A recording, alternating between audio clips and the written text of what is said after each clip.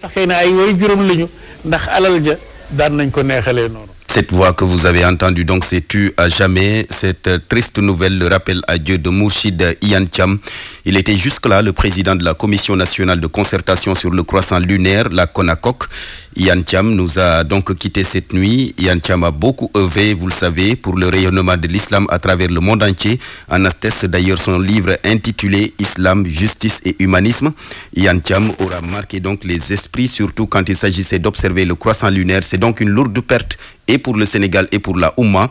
Témoignage de l'imam Omar Dieng, le secrétaire général de la Ligue des imams et oulémas du Sénégal. Nous disons. Le Sénégal vient de perdre encore un de ses fils, un de ses marabouts, un de ses guides en la personne de Mouchid Yann Thiam, qui est le coordonnateur de la Commission nationale de concertation sur le croissant lunaire. Nous avons cheminé ensemble pendant près de 29 ans pour chaque mois scruter le ciel pour voir la lune et puis donner l'information. Donc j'étais un de ses très proches collaborateurs. J'en étais le secrétaire permanent. Nous avons voyagé et visité, concordé ensemble pour la réussite pour que le Sénégal aussi fasse une concorde nationale pour les prières de Tabaski et de Korité.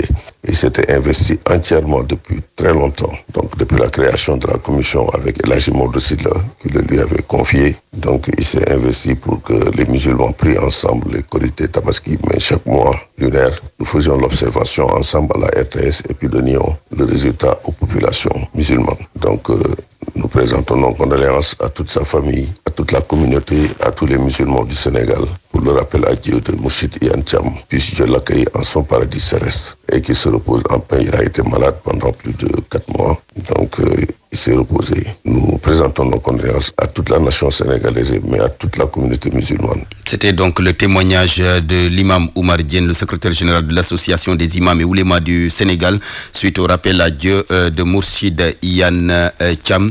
Paix à son âme. Le groupe Futur Média, par ma voix, donc présente ses condoléances à sa famille, à tous les musulmans du Sénégal et du monde entier.